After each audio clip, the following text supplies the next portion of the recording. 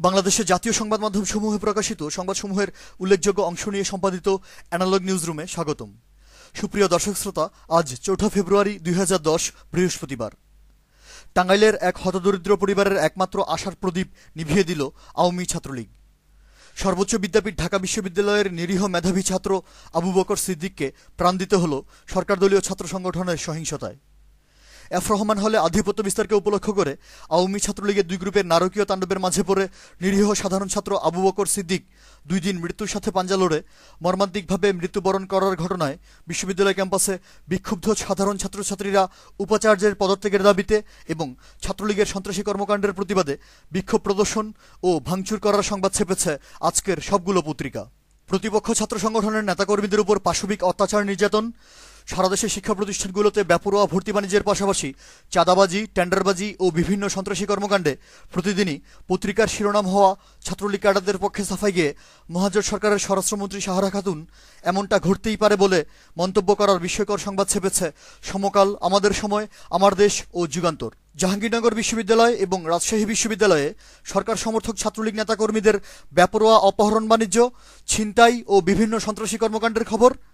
ছাত্রলীগ ক্যাডাররা শাহজালাল বিজ্ঞান ও প্রযুক্তি বিশ্ববিদ্যালয়ের প্রশাসনিক কর্মকর্তাদেরকে হুমকি দেওয়ার সংবাদ এবং খুলনা মেডিকেল কলেজে ছাত্রলীগের হামলায় প্রতিপক্ষ একটি ছাত্র সংগঠনের তেরো জন নেতাকর্মী আহত হওয়ার খবর ছেপেছে মানবজমিন, নয়াদিগন্ত কালের কণ্ঠ এবং প্রথম আলো। আওয়ামী ছাত্রলীগের বেপরোয়া ভর্তি বাণিজ্যের মুখে রাজধানীর ঢাকা কলেজ এবং সরোয়ার্দি কলেজে বিকল্প ব্যবস্থায় ভর্তি কার্যক্রম চালু হওয়ার সংবাদ ছেপেছে আমাদের সময় কালের কণ্ঠ ও সমকাল। প্রাচ্যের অক্সফোর্ড ঢাকা বিশ্ববিদ্যালয়ের আবাসিক হলগুলোতে আওয়ামী ছাত্রলীগের অবৈধ অস্ত্রের মজুদের উপর একটি অনুসন্ধানী প্রতিবেদন এবং চট্টগ্রাম ভেটেনারি বিশ্ববিদ্যালয়ে ছাত্রলীগাররা ভাইস চ্যান্সেলরের গাড়ি চালকের উপর হামলা করে আহত করার সংবাদ ছেপেছে। জায় দিন, সমকাল নয়াদিগন্ত ও ভোরের কাগজ। আওয়ামী স্বেচ্ছাসেবক লীগের নেতাকর্মীরা জেলা শহর হবিগঞ্জে একটি মসজিদের জমি দখল করে মসজিদটিতে তালা ঝুলিয়ে দেওয়ার খবর।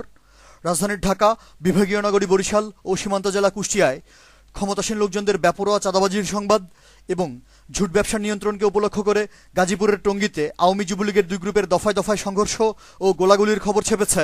আমার দেশ, প্রথম আলো, জয় দিন, কালের কণ্ঠ নয়াদিগন্ত এবং যুগান্তর।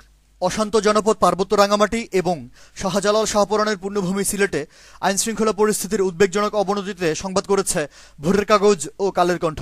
সীমান্ত জুড়ে নিরীহ বাংলাদেশিদেরকে নির্বিচারে পাখির মতো গুলি করে হত্যা করতে করতে ভারতীয় সীমান্তরক্ষী বাহিনী বিএসএফ এর স্পর্ধা এখন আকাশ ছুঁয়েছে। সিলেটের জৈন্তাপুরে বিএসএফ একজন দায়িত্ব পালনরত বিডিআর সদস্যকে গুলি করে আহত করার পর বাংলাদেশের ভেতর থেকে ওই বিডিআর সদস্যকে ধরে নিয়ে যাওয়ার বিস্ময়কর সংবাদ এসেছে।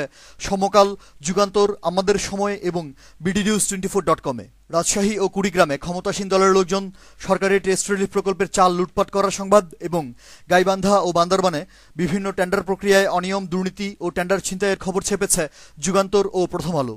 আমাদের সময় পত্রিকায় নিউজ আপডেট হয়েছে। কুমিল্লা মেডিকেল কলেজে আওয়ামী ছাত্রলীগের দুই গ্রুপের হামলা পাল্টা হামলায় শিক্ষা প্রতিষ্ঠানটি বন্ধ ঘোষণা করার সংবাদ। অ্যানালগ নিউজ আজ এ পর্যন্তই। আমাদের পরবর্তী নিউজ শোনার আমন্ত্রণ জানিয়ে আজকের মতো বিদায়। ধন্যবাদ।